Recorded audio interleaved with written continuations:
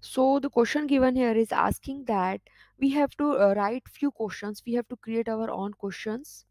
and what the topic they have given